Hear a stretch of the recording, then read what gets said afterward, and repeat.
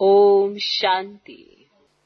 जब आप ये वरदान और ये याद प्यार सुनते हो ना, अव्यक्त महावाक्य में तो आपने अव्यक्त महावाक्य सुन लिए। तो जब आप ये याद प्यार और ये वरदान ये आप सुन रहे हो तो इसमें एक एक पॉइंट में पूरी मुरली आती है।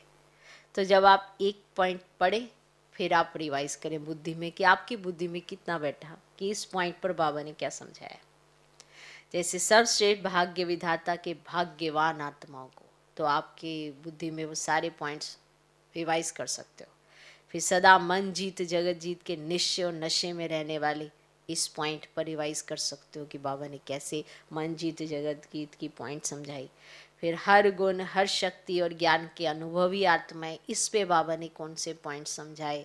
फिर सदा बाप को साथ रखने वाले कंबाइंड स्वरूप आत्माएँ, इस पॉइंट पर बाबा ने क्या समझाया था? तो सदा श्रेष्ठ भाग्य की लकीर को सहज श्रेष्ठ बनाने वाले तो माना इस पे बाबा ने मुरली में डिटेल में क्या समझाया? तो ये है सार स्वरूप, वो है डिटेल वो है विस्तार। पर वो विस्तार को दोबारा जाके पढ़ना नहीं है। हमने पढ़ लिया है, उसको बुद्धि में रिवाइज करके देखें कि हमारी बुद्धि में कितना बैठा है। फिर उस याद प्यार को फिर से रिवाइज करें। तो ये बहुत सहज माध्यम से आपको अव्यक्त महावाक्य याद हो सकते हैं। तो कहीं कहते हैं ना कि हमको मुरली याद नहीं होती तो उसका बहुत सहज साधन है। जैसे साकार मुरली में धारणा के लिए मुख्य सार होते हैं। उन पॉइंट्स को रिवाइज करके आप साकार मुरली में बाबा ने क्या कहा, उनको रिवाइज कर सकते हो।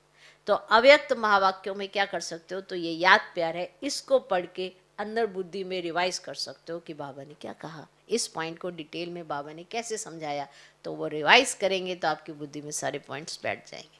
तो ये बहुत सहज विधि है मुरली को याद रखने की और उसको ग्रहण करने की। ओम शांति।